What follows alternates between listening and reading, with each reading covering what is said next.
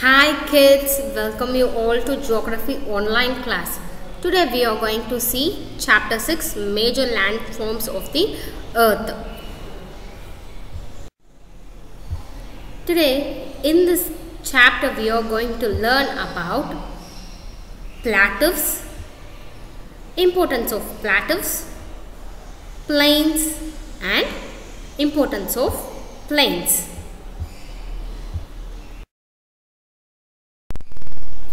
Plateaus. What is plateaus? Uh, plateaus are one of the major landforms of the earth. Plateaus are elevated block of blocks of land with flat tops and sides that could be steep or rolling. When compared to the mountains, uh, mountains are generally cone-shaped structured. Uh, it's a highly elevated areas, mountains.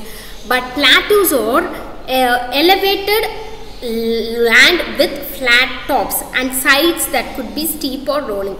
Since their shape resembles a table, it looks like a table. Plateaus are also called tablelands.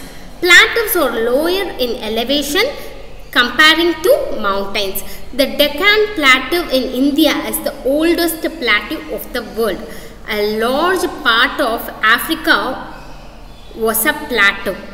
The plateau of Tibet is the highest plateau in the world with the height of 4000 to 6000 meters. So, plateau of Tibet is also called roof of the world.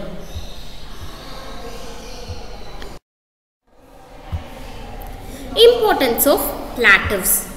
See here, this is the image of plateaus. You can see the elevated block flat top. It is not, it is not look like, it is not look like a mountain, but it is a flat elevated land. So this is called plateaus.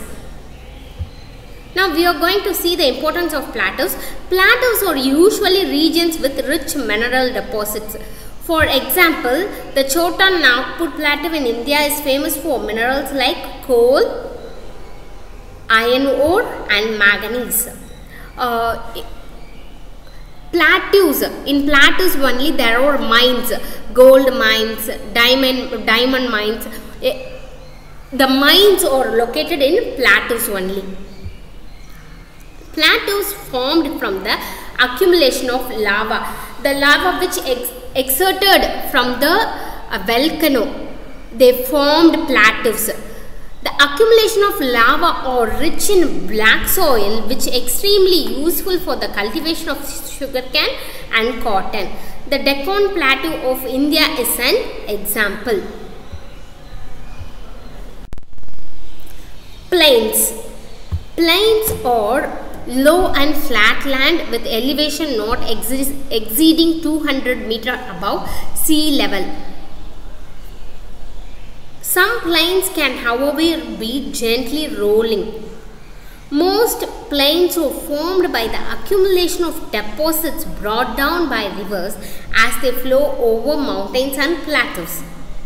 These deposits from mountains, uh, from, uh, from mountains and plateaus.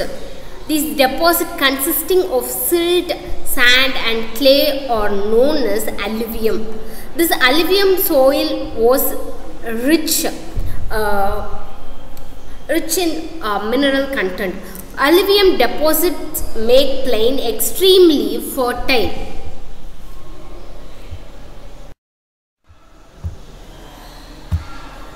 The Indo-Gangetic Plain in India, the Huanghe and Yangtze Plains in China and the Nile Basin in Egypt are some of the most densely populated plains of the world. Plains are suitable for human settlement. Uh, in India, Indo-Gangetic Plain and Huanghe and Yangtze in China are the most populated plains in the world. Some plains are formed due to the deposition of very fine desert sands over a large area. Such plains are known as Loess Plains.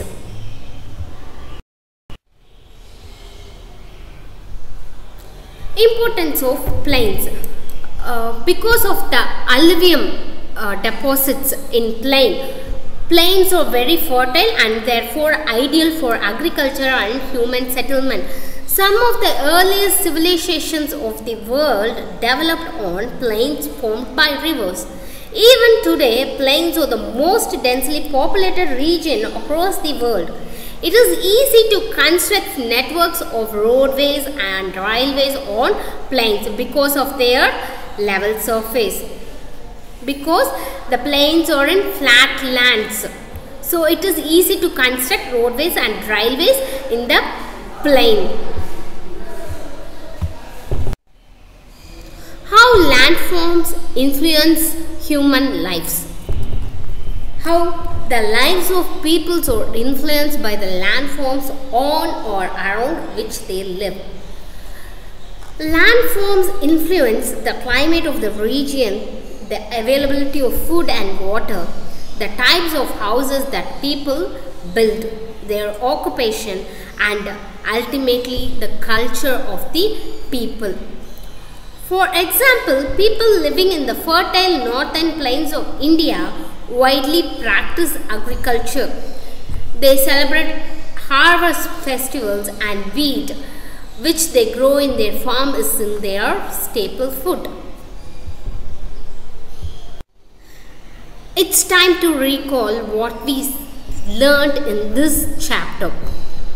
Plateaus are elevated blocks of land with flat tops and sides that could be steep or rolling. Plateaus are also called tablelands. Tibet is the highest plateau in the world with a height of 4000 to 6000 meters. Tibet is known as the roof of the world. Plains are large areas of low-lying and flat land.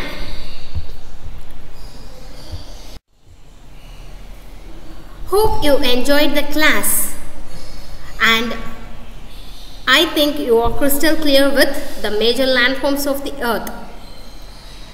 Thank you children.